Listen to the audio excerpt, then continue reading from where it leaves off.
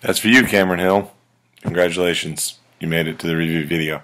And all of you better thank uh, Miss Jane in seventh period because um, I might have forgotten to do the old review video if it wasn't for her reminding me on Edmodo. So here we go. Let's talk about um, taxonomy. That's what we've been talking about for the last week and a half if you've been sleeping, which How could you? It's biology. It's like the most fun part of your day.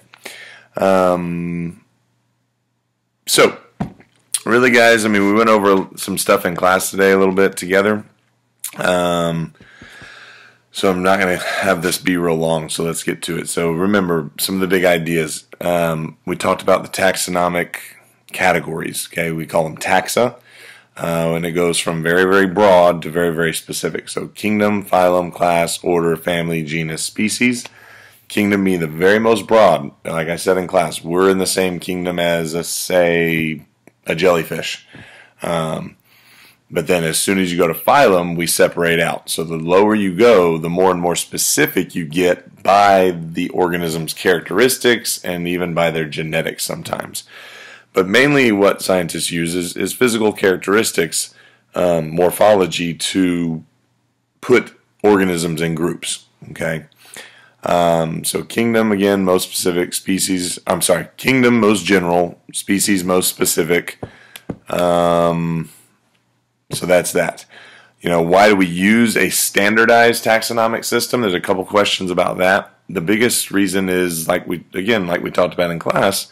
Um, to unify the scientific community. You know, there's no language barrier. Every scientist knows what they're talking about when you say uh, Canis lupus. You know, they know you're talking about a you know gray wolf.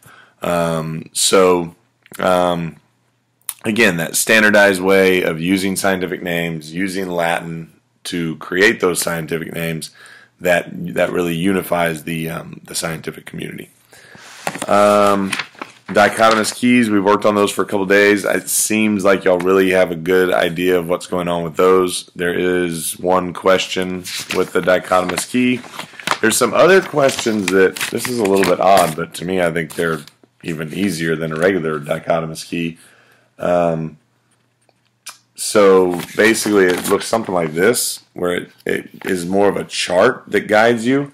And the question will say, like, which group of organisms does not produce spores and is photosynthetic?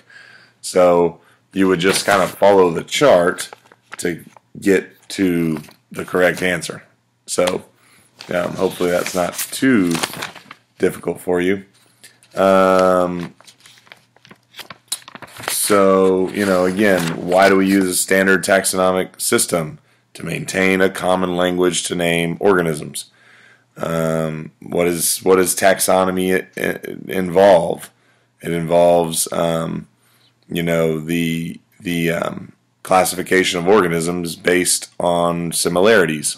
Okay, you put them in a hierarchical system. So again, that that hierarchy they're talking about is the whole kingdom all the way down to um, to species.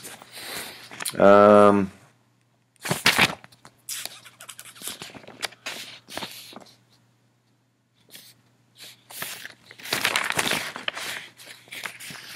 what um, you know remember the more of those taxa groups that organisms share the closer they are related to each other um, so if you know you have a group of three organisms and it shows you what taxa they're in, and then it asks you what which two are the most closely related, you'll be able to um, to see that by seeing which ones have the most of those categories that match.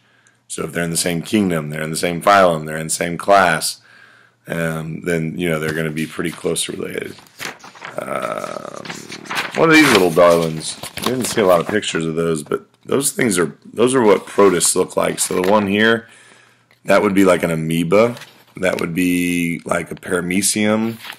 Um, so the little cilia that it has around it, it would use those to kind of move around. Amoebas kind of like squish and extend, and have these things called pseudopods, um, kind of false hands, basically false feet.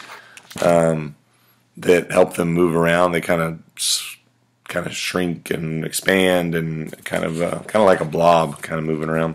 Um, they're pretty cool. Um, what makes organisms in the diagram different? Oh, oh yeah. So basically, again, I think we most classes we talked about this one, but what makes a bacteria different than a protist? You know, they're both single-celled. They both can be autotrophic or heterotrophic. What's the big difference between a, ba- a bacteria and a protist? Would be protists are eukaryotic and bacteria are um, prokaryotic. So it's the whole idea that protists have a nucleus, protists have membrane bound organelles. They're more advanced cells. Okay, they're bigger. All right. Um, what does the word diverge mean? If organisms are diverging away from each other, what does that mean? Go ahead, I'll wait. Oh, um, yeah. So it means like like I just said, they go away from each other. If two organisms that were once, you know, related or, or even, you know, were one species and then they diverged, they went away from each other for some reason. Um, so another one of those weird chart ones.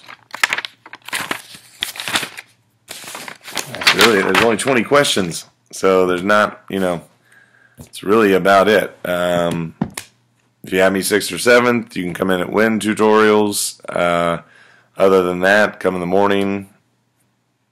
Don't really know what else. I mean, I think we did a pretty good job covering some stuff in class, and y'all y'all seem to really understand this unit. So I'm expecting really good scores. So um, anyway, let me know if y'all have any questions, and we'll we'll play you out to a classic um, 90s 90s rock.